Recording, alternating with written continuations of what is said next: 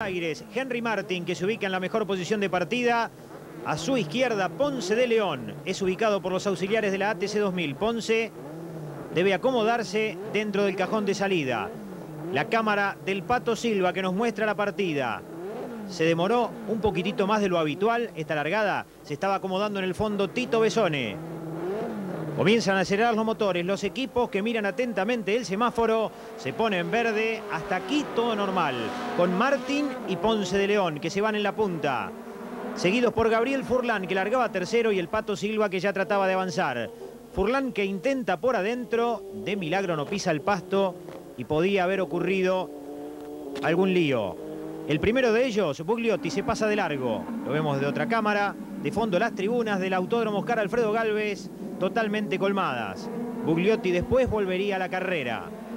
Pero se viene el segundo incidente en la curva de la confitería. Se tocaban Cacá Bueno y el Chiqui García. Y realmente tengo que pedir disculpas al Chiqui porque lo pegué mal, pero no fue la intención. Yo hasta frené antes que él, pero cuando frenamos todos juntos, tenía cuatro autos a la par, tres autos a la par, y me tocaron y yo frené con dos ruedas al, asfalto y dos al pasto.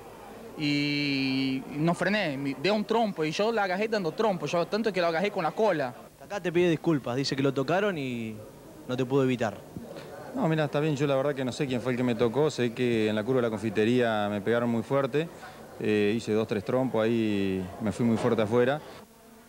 Ponce de León primero, Henry Martín segundo, tercero aparecía Omar Martínez, cuarto Furlán y quinto el Pato Silva. Sexto, el Flaco Traverso, detrás Tuero, Flaqué, Peón, el Peulló de Emiliano Espataro. La recta principal, después de haber transitado la primera vuelta, la imagen nos muestra a un tranquilo Ponce de León en la punta. Otra vez la curva de la confitería. Este es el Mitsubishi de Furlán que nos muestra la cola de Omar Martínez.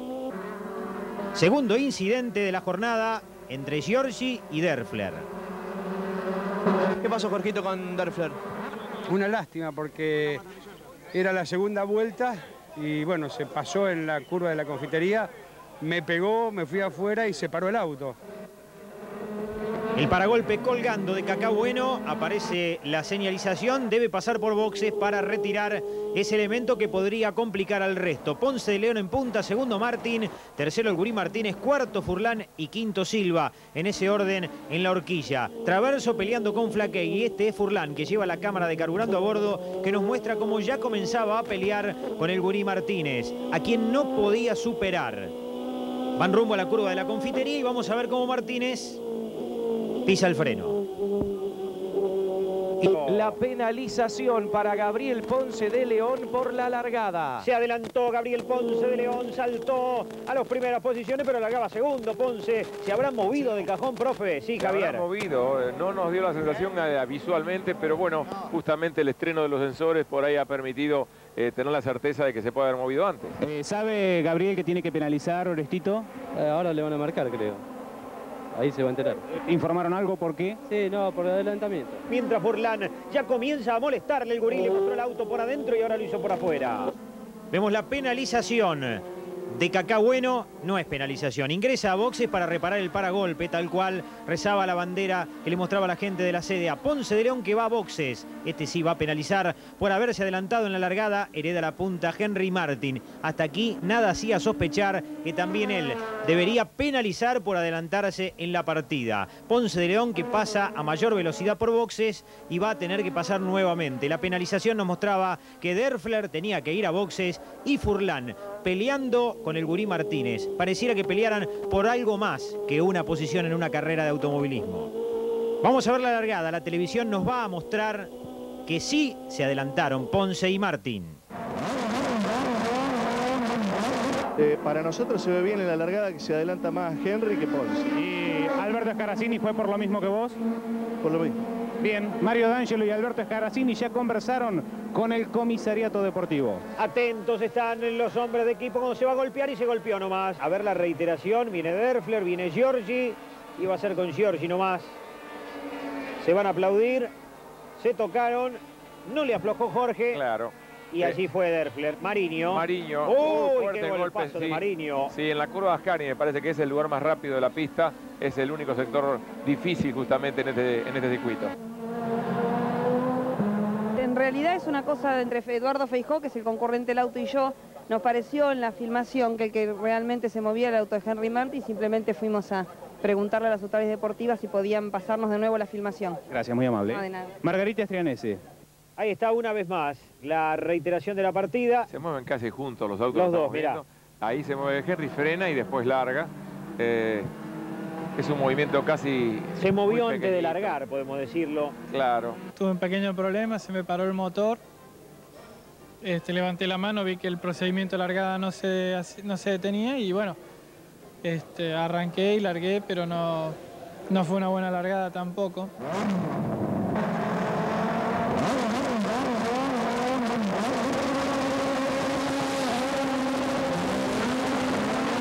Yo quiero ver eh, exactamente si hay otros equipos ya, pero cualquier reclamo hay que hacerlo por escrito. Verbalmente no tiene ningún valor. me. Estamos hablando del adelantamiento de Henry. Aparentemente lo están repitiendo por televisión, yo lo acabo de ver y bueno, sea, por la televisión se ve que se adelantan. Acelera Martín que le hizo buena diferencia. Ya Alguni Martínez. Ya estamos con la bandera verde para Henry Martín. Cuando Besone anda por el pasta. Qué lástima Tito. Había recuperado muchísimas posiciones y se fue de largo. Se tira Furlan en el frenaje pero no puede. A ver qué pasa.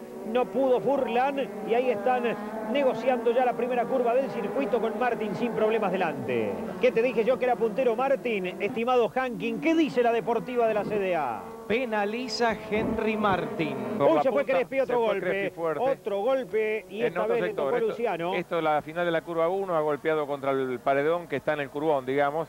Posiblemente o le ha fallado la frenada o quizá algún roce lo despidió para afuera. ¿Cómo se pone esto, mi amigo? Porque va a entrar el auto de seguridad seguramente cuando viene con el paragolpe roto el chiqui. Y se me empezó a manifestar un problema de frenos, eh, hasta que por allá en un frenaje venía con Luciano Crespi, él me frenó tal vez un cachito antes.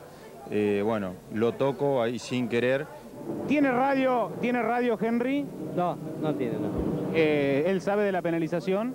Sí, sí, obvio, si vio el cartel.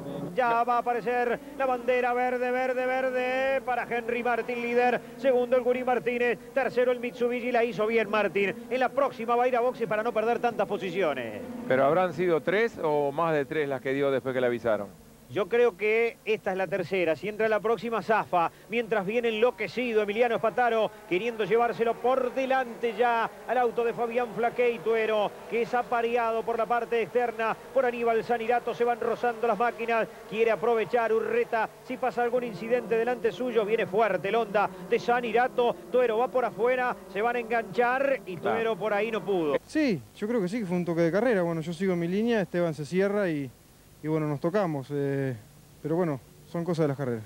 Se juega Furlan, Furlan, Furlan por adentro. Se cerró el Gurí Martínez. Hizo otra trayectoria el subcampeón de la categoría que siempre doblaba abierto y en esta lo hizo cerrado. Claro, porque el auto de Gurí tiene tendencia a irse un poco más de trompa que el de Gabriel ahí. Por eso se le abre el auto hacia la parte externa y Gabriel está queriendo ver si encuentra el hueco para poder meterse. Y por supuesto el Pato, como vemos desde adentro, atento a todo, porque puede pasar cualquier cosa y él está preparado para dar el zarpazo, digamos. Mira Furlan, mira, mira, mira.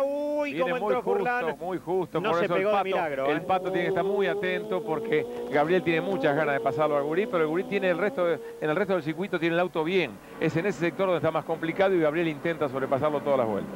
Bandera negra para Henry Martín. Y bueno, estaba incomunicado con el equipo. Tal vez si yo hubiese recibido la información de que era por la primera largada, hubiese eh, hecho la penalización. Lo que está muy mal es que me marquen la penalización de la largada en la vuelta 14. Le está muy cerca Gabriel. Vamos a ver si en la frenada lo intenta. El Gurí ya está cubriendo la cuerda. Se abre Gabriel por afuera. Uy, va, va, va, va, intentar- va, Furlan, va a va, intentar Furlan, pero la afuera. cuerda la tiene el Gurí Martínez y sigue el Gurí delante. Cabeza dura Martínez, va Furlan, uy, se lo llevó por delante. Se lo llevó por delante Furlan, claro. Fue por afuera, se tiró por adentro Martínez. Uri, ¿qué pasó con Gabriel Furlan? Eh, no sé, se piensa que tiene mejor auto, lo que tiene es un auto más liviano. Y bueno, no sé por dónde habrá querido pasar. Me arruinó la carrera y... Pero bueno, son cosas de carrera y hay que pensar en la próxima. Ahora desde afuera lo podemos ver. Claro, el auto de Gurí aparentemente de golpe de dobla como muy despacio ahí adentro. Eh, Gabriel se había metido por adentro y se produce el toque. ¿Cómo hago para chocarlo si él no frena? O tengo 100 caballos más o, o él frena. No hay manera de chocar un auto en un sector de aceleración. Él frena y se cierra. La maniobra la hizo tres veces, está la cámara a bordo, la verán ustedes. La cuarta dije, basta, no puedo venir toda la carrera. Lo respeté 25, 30 vueltas de la carrera hasta que yo tengo que buscar mi carrera. Él no puede hacer eso. La verdad que la maniobra nos deja realmente la duda. Vemos la aproximación, lo vemos desde adentro. Ahí está cuando el auto de Guri queda delante del auto de Gabriel. La curva es como para continuar acelerando. Una vez que entraron, ya tienen que ir acelerando los dos coches hacia afuera. Pero atención que se acaba también el líder. Era Furlan porque hay penalización para Gabriel. Penalización para el auto 13 de Gabriel Furlan. Y los comisarios... El síndrome de... De los punteros, la penalización hoy. La ligó Ponce, después Martín, ahora la ligó Gabriel Furlan por el toque al Gurí Martínez. Deberá pasar por el sector de boxes. Hay nuevo líder, señores, en el TC 2000 desde las próximas vueltas. Será el Pato Juan Manuel Silva. Ya está segundo Juan María Traverso en la pista. Tercero Flaqué. Es Pataro que le sacó el auto a Flaqué. Quiso intentarlo por afuera, pero no pudo. Y Flaqué se defiende muy bien. El piloto sanjuanino que está ubicado en la tercera posición. Viene echando humo Flaqué. hay una pequeña columna de humo en el auto de Flaqué. Se complica, mí me preocupa porque Emiliano me toca de atrás y bueno, el paragolpe empieza a tocar en, en la goma. eh, adentro, adentro del habitáculo se llena de humo. No, lo toqué un cachito en la horquilla, pero... mm, ¿Para toque. molestarlo? Eh, Para molestarlo nada más, pero no pasó nada. Pero bueno, fueron dos, tres vueltas hasta que se gastó el, el paragolpe y, y la goma deja de rozar, pero no dejó de, de preocuparme. Se rompió la goma, bueno. Viene lento Kaká y va a perder posibilidad de sumar puntos para el campeonato. Y sigue nomás el brasileño, ¿eh? duro el brasileño, pero va a ser un trompo. Uy, casi, casi. Se lo llevan puestos Singolani y ahora Ponce de León. Y allí quedó Carlos Kaká, bueno, el brasileño. Cuando va muy lento el auto de Singolani, se va quedando Daniel. Buscando la séptima victoria consecutiva para un Honda en el Oscar Alfredo Galvez. Reitero, ganaron en el 9, en el 7, en el 12 y ahora la quieren hacer en el 8. 38 vueltas. Última para el Pato que se, perti- se persigna, digo. Ahí va buscando la victoria. No ganaban el TC 2000 desde el primero de agosto del año pasado cuando corría la categoría en el Oscar Alfredo Galvez. En la segunda carrera, este piloto que tiene el número uno que va corriendo la carrera número 83 en el historial del TC 2000 que debutó el 13 de marzo del 94 en Rosario, nacido hace 27 años en Resistencia Chaco, se va a llevar la victoria, será el noveno ganador del Silva el Pato, Juan Manuel,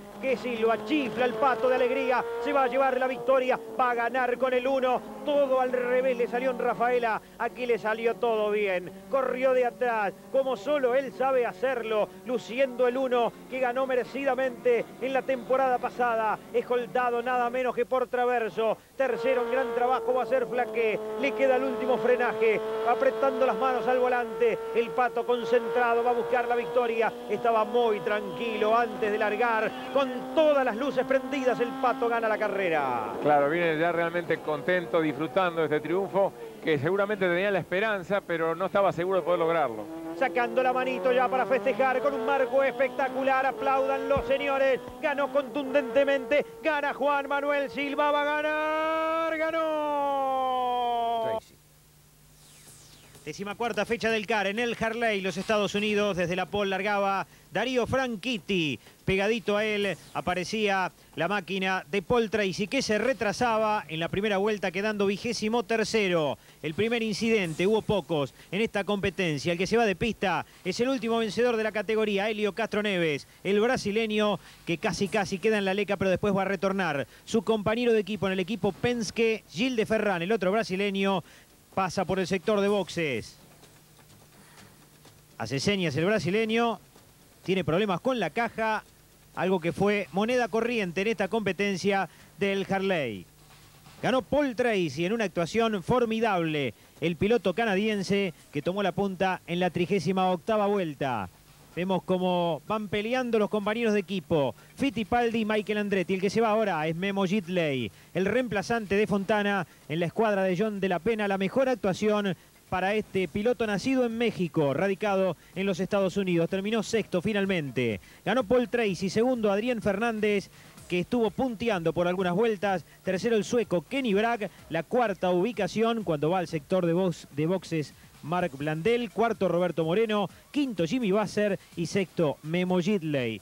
Muchos abandonos en esta competencia, llegaron solamente 11 pilotos de los 25 que largaron. El campeonato tiene Andretti, cuando va al sector de boxes Cristiano Damata y se lleva a todos los mecánicos por delante. Decía Andretti 125 puntos, Moreno es el nuevo segundo 112, Gilde Ferran tiene 106, Adrián Fernández 103 y Kenny Bragg 102. Sexto quedó Tracy con la victoria de ayer con 100 puntos. La próxima fecha, el 3 de septiembre, en el callejero canadiense de Vancouver.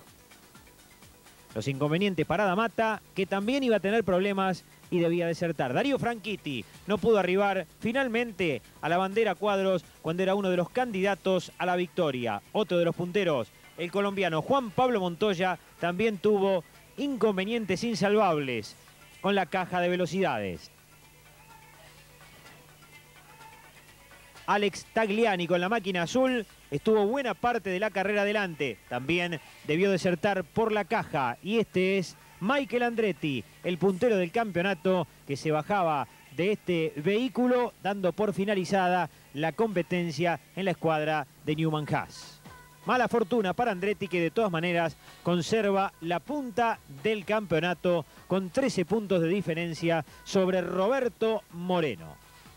La bronca de Andretti otra vez será Michael. La próxima recordamos en Vancouver, la tierra del recordado Greg Moore. Juan Pablo Montoya, que nos muestra este circuito permanente norteamericano. Saca el volante y no va más. Para el campeón de la categoría más popular de los Estados Unidos. Paul Tracy, que pasa por el sector de boxes, la última parada del canadiense antes de cantar victoria en el Harley circuito en el que no triunfaba desde hace seis temporadas. Debemos decir que también en este trazado corrió la Fórmula Atlantic el rafaelino Martín Basso fue tercero y está también en esa posición en el campeonato con 103 puntos. El festejo del equipo Cool Green, victoria inobjetable para Paul Tracy.